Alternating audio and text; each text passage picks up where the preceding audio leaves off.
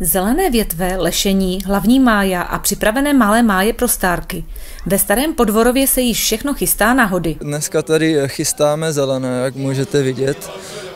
A to chystáme vlastně už od rána, od rána jsme v lese.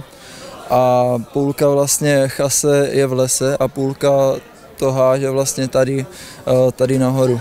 Jak dlouho celá příprava zeleného trvá? Tak začíná se vlastně tím, tady, že se staví mája potom se musí natáhnout eh, dráty kolem máje, aby se mělo kam to zelené házat. A konkrétně eh, zelené, než se celé připraví, tak trvá zhruba dva až tři dny. Takže jedeme od úterý až vlastně do pátku, pátek necelý. Dnes máte stavět máje stárkám. Jak to celé bude probíhat? Tak Tady ty máje máme nachystané ostrouhané, ty teďka vlastně vezmeme s klukama a půjdeme takovým netradičním průvodem, takovým menším průvodem společně s holkama. K tým stárkám tam vykopeme vlastně díry na ty máje. Holky budou po cestě zpívat, krásně zpívat samozřejmě na hlas. No a tam se to vykope, dáme tam nějakou šťopičku, postavíme máju a půjdeme k další stárce a tam to bude vlastně to stejné. Bude i večeře? Bude i večeře. Co myslíte, že je připravené? Já si myslím, že budou řízky nějaké v trojobalu, nebo co říkali. Tak obrácené. Obrácené, obrácené, tak to bude super změna. Celá příprava hodů je obrovská zodpovědnost nejen ze strany stárků, ale také ze strany stárek a jejich rodin. Tak nás moc zajímalo, jestli stárci měli pravdu s večerním menu. Dnešním úkolem stárky je to, aby jsme naše stárky a zároveň s nimi i celou chasu dobře pohostili, aby jsme jim pomohli při tom nějakém stavění máje a pak jsme si užili úplně celý večer a také poslední rozptýlení předtím, než nám samotné hody rozpuknou. Co jste nachystali na večeři?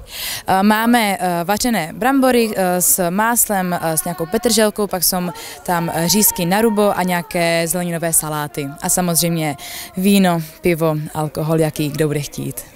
Pro kolik lidí jste to museli nachystat? Asi pro 40 až 45 lidí. Přesně Přesné číslo ještě bohužel nevím, to taky očekávám, kolik se tam vlastně objeví nakonec lidí. Bývá u toho ještě i nějaká doprovodná zábava? Ten proces toho stavění má skončí asi kolem desáté hodiny, kde se pak odebereme na tu večeři. Tam budeme kolem půlnoci a pak si sedneme pod zelené na pódium, kde budeme třeba do 4 hodin do rána tančit, zpívat a užívat si společný čas. A měli pravdu. Za dobře odvedenou práci je poté zasloužená odměna. Nést máju není žádná jednoduchá záležitost, stejně jako když se při kopání objeví spousta překážek a kamení. Během celého procesu je třeba toho správného dopingu. Stárky jsou dvě a úkoly jsou spravedlivě rozděleny. Stavět mája se chodí k oběma stárkám. Co je úkolem vaším jako u vašeho domu? Tak určitě jako první tak pomáháme i vlastně druhé stárce nachystat večeřu a naším úkolem je to, aby vlastně kluci došli v pořádku zpátky a zvládli cestu. A máme tady občerstvení, máme dostatek pití, jídla a myslím, že klukům se to tady bude líbit jako každý rok. Jak se zapojuje do chystání hodu rodina?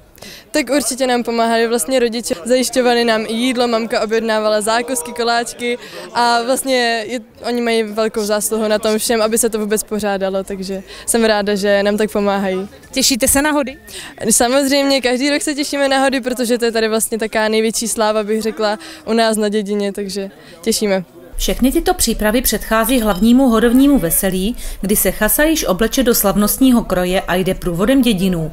Na co se můžeme těšit? Začíná se vlastně pátkem, kdy hraje cymbálka, e, předtím ještě nějaký program a pak až do rána hraje cymbálka. E, v sobotu je diskotéka hodová a e, v neděli, v neděli jsou vlastně hody, průvod. Kolik vás bude letos celkem párů? No, počítali jsme spíš nás bude tak okolo 20.